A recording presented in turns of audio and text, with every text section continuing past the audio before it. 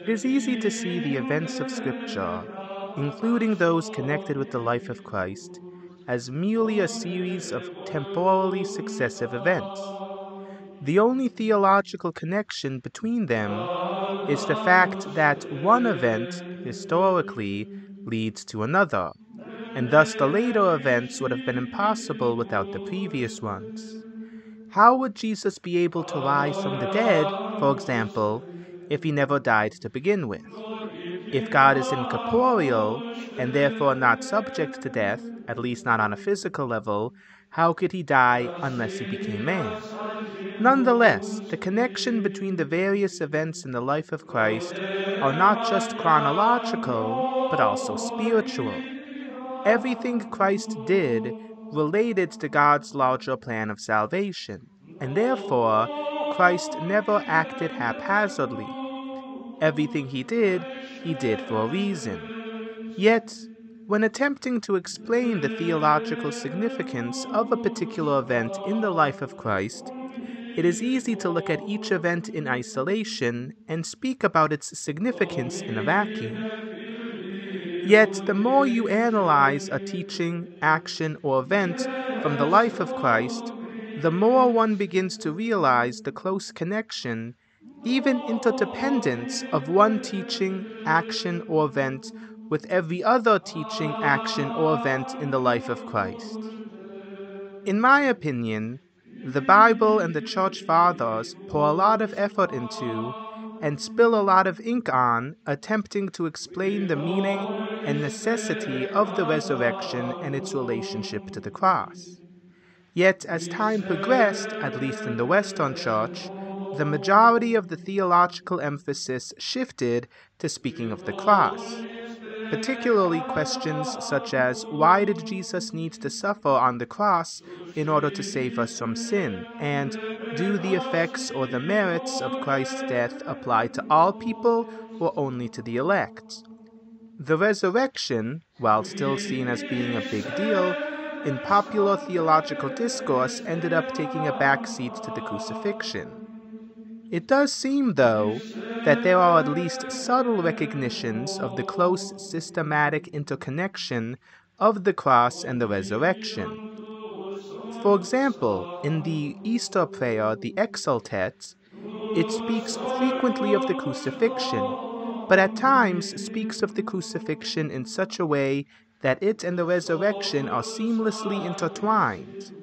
For example, the text reads, quote, these then are the feasts of Passover, in which is slain the Lamb, the one true Lamb, whose blood anoints the doorposts of believers. Unquote. So Easter is symbolically connected to the Passover, in which a lamb was sacrificed for the salvation of the Israelites. Yet the text goes on to say, and I quote, This is the night when Christ broke the prison bars of death and rose victoriously from the underworld. Unquote. So this night is also identified as the night in which Jesus rose from the dead, thereby freeing us from the bondage to death. In a sense, these aren't two sets of symbols that are applied to the same feast day, but in a manner completely unconnected from one another. Rather, these two sets of symbols are closely connected. Why was the lamb sacrificed? In order to save the Israelites from the angel of death. Yet Christ is also described as breaking the quote unquote prison bars of death. Christ, in rising from the dead, ended death's dominion over the human race. Thus, when the Exsultet goes on to say, quote, This is the night when once you led our forebears, Israel's children, from slavery in Egypt and made them pass dry shod over the Red Sea, unquote, the passing from Egypt to the Holy Land could be a reference to either our liberation from sin or our liberation from death. This subtly points towards a larger theological truth, namely, that we cannot entirely separate the theological discourse that comes from contemplating the resurrection and that which comes forth from contemplating the death of Christ. And I think this is clear from the works of the Church Fathers. Without making overly broad claims about the Church Fathers, and therefore at the risk of sounding overly simplistic in my analysis, one major theme in the Church Fathers is the notion that Jesus' incarnation, death, and resurrection are all tied together by a common thread, namely the attempt to renew or restore human nature, corrupted as it was by the effects of sin. We see this, for example, in the works of St. Athanasius. Athanasius writes that God is the source of all being and existence, but sin is a turning away from God. Sin, therefore, is a turning away from the source of all being and existence. To turn away from God is to turn towards nothingness. Death is therefore an expression of the ontological corruption that comes about from sin, or as a result of sin. Yet, God, being infinitely merciful, did not abandon his creation. He decided to redeem us from our sin, to save us from the effects of sin and death. He did so by becoming human, by dying on the cross and from rising from the dead. This way of saving us from sin can be compared to a king who attempts to squash a rebellion in his kingdom by directly invading the place where the rebellion originated. By making himself present in the place where his kingly presence is resisted, the king, ironically, reestablishes order in his kingdom. The same is true with God. Athanasius goes on to write, and I quote, Thus, then, God has made man, and willed that he should abide in incorruption. But men, having despised and rejected the contemplation of God, and devising and contriving evil for themselves, as was said in the former treatise, received the condemnation of death with which they had been threatened, and from thenceforth no longer remained as they were made, but were being corrupted according to their devices. And death had the mastery over them as king, as Romans chapter 5 verse 14 says. For transgression of the commandment was turning them back to their natural state, so that just as they had had their being from out of nothing, so also, as might be expected, they might look for corruption into nothing in the course of time.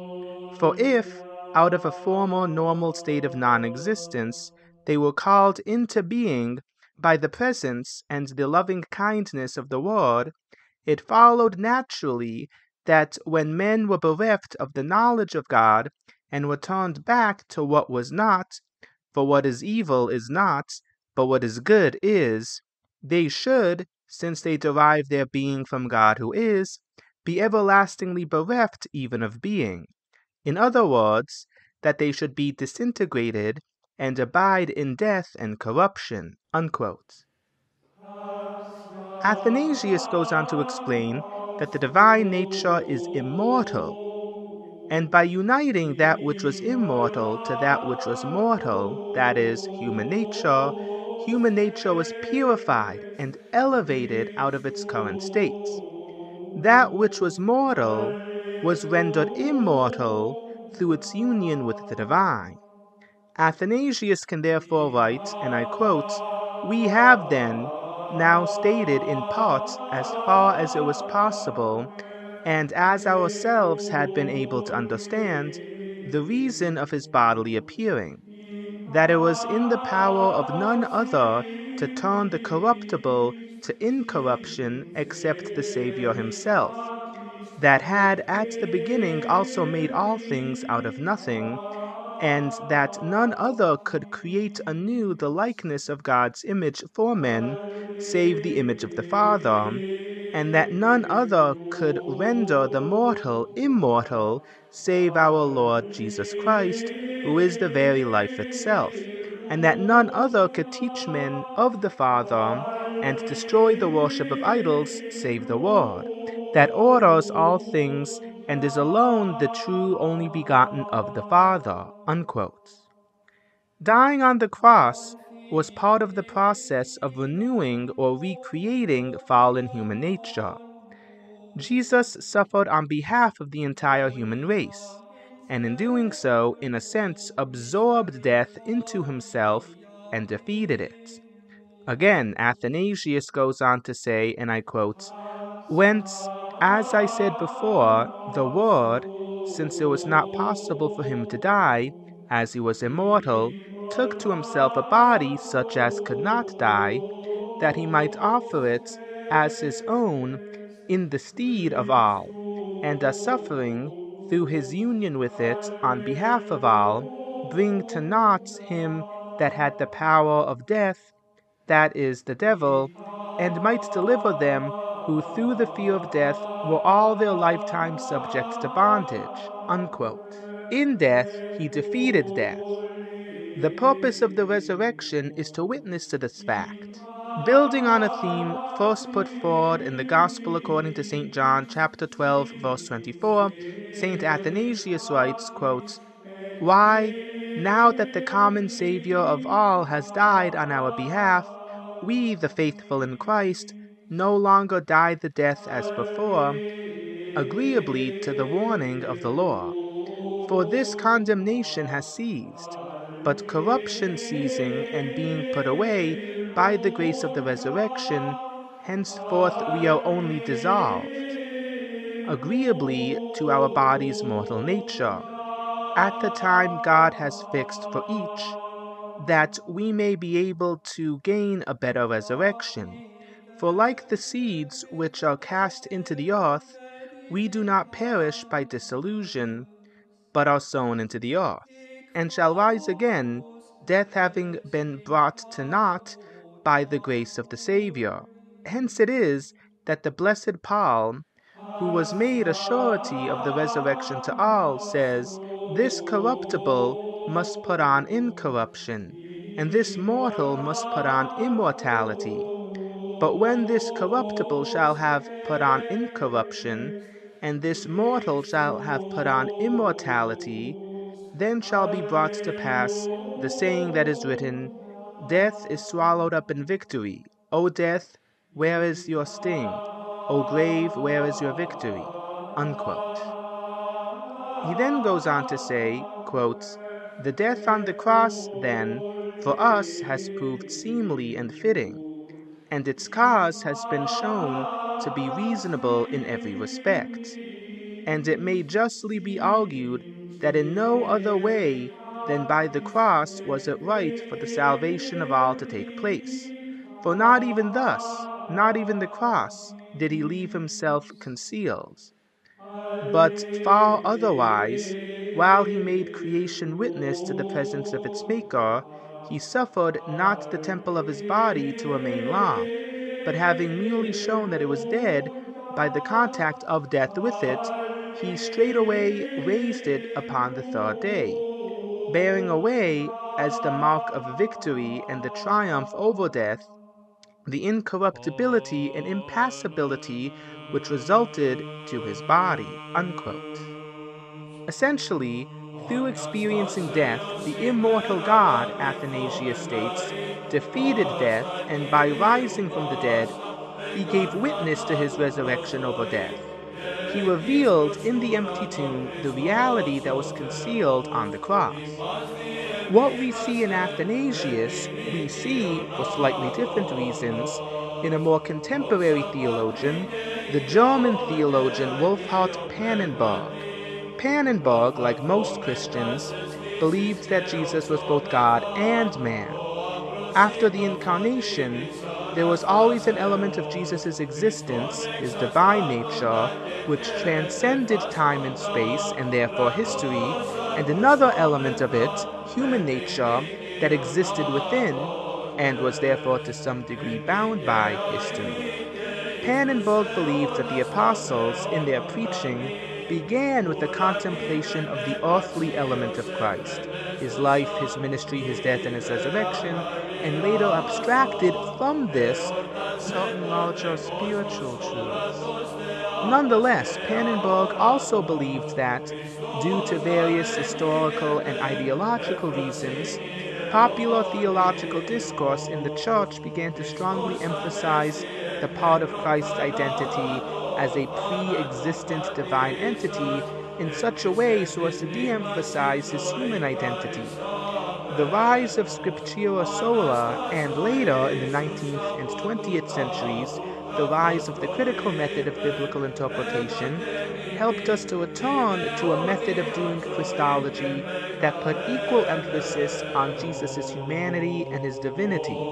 Pannenberg thus suggested that we begin with the historical realities surrounding Christ and affirm the larger spiritual claims about Jesus based on, or to the extent that they can be justified by, the historical realities of Jesus. We as Christians believe what we believe because we believe that the historical creeds and confessions of Christianity can be vindicated by the historical reality of Jesus, but in particular the resurrection. The resurrection explicates that which was implicit in the pre Easter elements of Jesus, namely Jesus' role as Lord and Savior, and as the Son of God made man. The resurrection is thus the lens through which the early church viewed everything. Everything Jesus said and everything Jesus did, including everything he said and did before the resurrection. This doesn't reduce the importance of all that Jesus said and did before the resurrection, for everything Jesus did, from the moment of his conception to the moment of his ascension, reveals the true message and identity of Jesus. Yet it is in the resurrection that the full glory of Jesus as the Son of God and as the Lord of all is made known. Everything that Jesus said about himself is affirmed in the resurrection. Pannenberg thus believed that if the resurrection did not occur, if it was not an historical event, then there were only two possible options. The first is go down the path of theologians such as Rudolf Bultmann, who said that most of what was said about Jesus was purely symbolic or mythical, and therefore has spiritual value but has little or no historical value, or two, we have to believe that there is a historical basis for the Christian faith, but the resurrection is not an historical event, and therefore we have to completely reframe the gospel message. What we see in both the Church Fathers and in Pannenberg is the notion not only that the cross and the resurrection should be looked at from the perspective of what makes them systematically distinct, that is, as distinct doctrines or distinct aspects of Christ's mission, but rather should be looked at as being systematically connected. There are a series of theological threads that connect the death and the resurrection of Christ, and may I suggest going forward that we as Catholics and the wider Christian community continue to emphasize this reality. And as we sort of end off the Easter season, may we, as we contemplate the resurrection of Christ, learn to not look at any part of Christ's mission, particularly the events of the Easter Triduum, in isolation, but rather see them as a web or a patchwork, each section of Christ's life and mission connecting to every other and deriving its meaning not just from itself in isolation, but from its connection to every other part of what Christ said and did.